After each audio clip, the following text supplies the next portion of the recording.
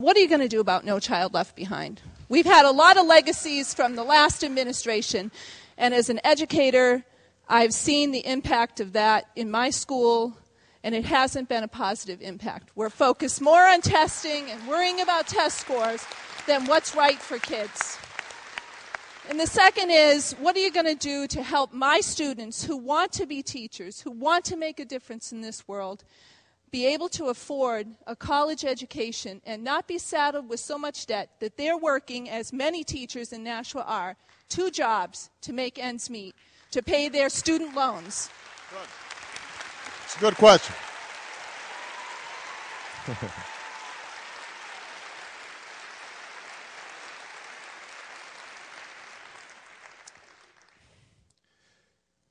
the short term proposals that I put forward are designed to accelerate job growth, that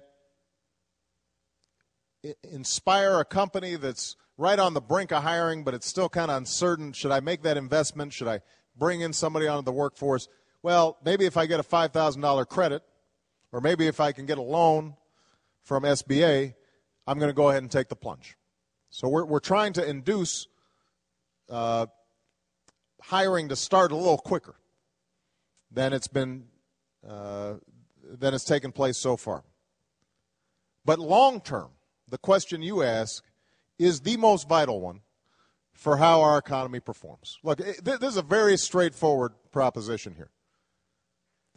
Countries that have a highly skilled workforce, that innovate, that excel in science and technology, are going to dominate the future. And countries that don't are going to see over time their standard of living decline. It's, it's pretty straightforward. If we're the country that's innovating and creating new products and, and at, the, at the, the high end of the product chain, then everybody here is going to have enormous opportunity. And if we're not, we don't. So, what does that mean? On the education front, our elementary schools, our secondary schools, have been slipping. We used to have the best.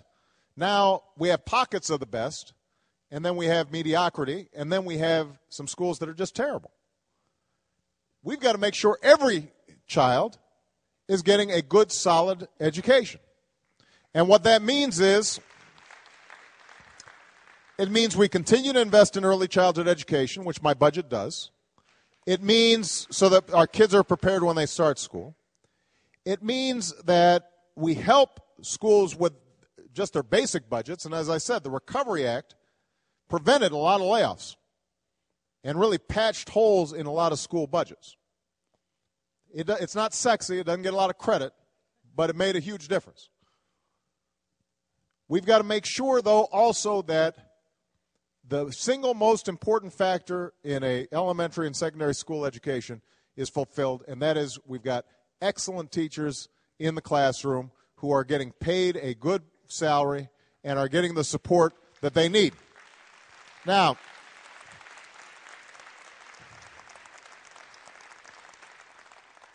now traditionally what's happened is the debate between the left and the right has said, well, the, the, the left just says, we just need more money in the schools and everything will be okay uh, you know, for new equipment, new computers, smaller class sizes. You know, that, that's been the argument on the liberal side. The conservative side said the whole problem is bureaucracy, teachers' unions, you got to blow up the system. Now, what, what my administration believes is, it's not an either or proposition, it's both and. We need more money, but we need to spend the money wisely, and we need to institute reforms that raise standards and push everybody in a school principal, teacher, student, parent to pursue excellence. So last year, what we did is we started with something called Race to the Top. And it's a pretty simple proposition. We carved out a little bit of money that doesn't just go to general revenue, Title One, you know, all, all, the general uh, federal support for schools. And we said, this money, this race to the top money, you get it only if you're working to make for excellent teachers. You're collecting good data to make sure that your students are actually making progress in the schools. You're dealing with the lowest performing schools in your school district. You've got ideas that are showing concrete results in improvement, not in absolute test scores, but in the, the progress that that school is making. We're going to fund those improvements. And we've already seen reforms across 48 states just because we incentivized reform. That's a good thing. This year is when reauthorization for what's called No Child Behind would be coming up as part of the broader education uh, legislation that's up for reauthorization. And what we're saying there is, on the one hand, we don't want teachers just teaching to the test. On the other hand, we also want to keep high standards for our kids. And I think the best way to do that is to combine high standards, measurable outcomes, but have an assessment system that you work with teachers on so that it's not just a matter of who's filling out a bubble. And you're also taking into account where do kids start because not every kid's going to start at the same place. So you want to see where do they end up at the end of the year. So I just I just had a meeting with my team this uh, this week about this, trying to find ways that we can improve the assessment system so we're still holding schools accountable, we we we're still holding teachers accountable, but we're not just holding them accountable for a score on a standardized test. But we have a, a, a richer way of assessing whether these schools are making progress. All right, so that's the answer to the No Child Left Behind. On the college front, here's the deal. We've already increased Pell Grants, and we want to increase them again. We've already increased both the size of each grant that's permissible, but also the number of grants available so more students can get to them. The next step, and this is legislation that's pending that we are strongly supportive of, and I think our entire congressional delegation from New Hampshire is strongly supportive of. What it would do is it would say to every student all across America, and this is especially important for somebody who wants to go into teaching, not a high salary profession. That you will never have to pay more than 10% of your income on student loans. And and to every student we would say that after 20 years your debt would be forgiven uh, as long as you were making payments commensurate with your income. But if you went into public service, we would forgive those student loans after 10 years. And teaching, obviously, is one of our most important public services. So,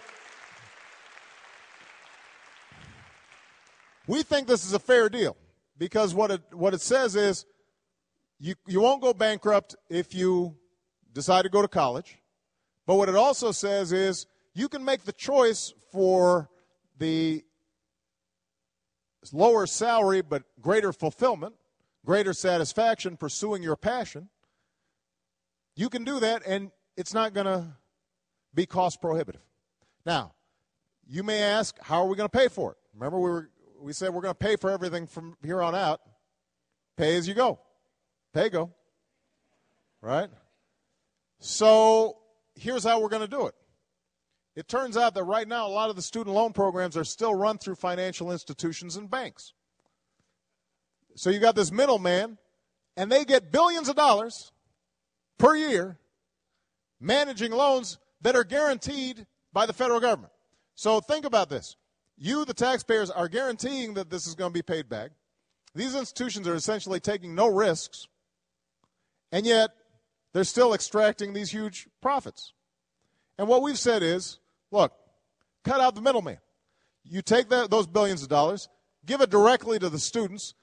With the money that we save, we can make sure that nobody goes bankrupt uh, because they're going to college because we need every single person to go to college. We think it's a good idea. We're going to make it happen.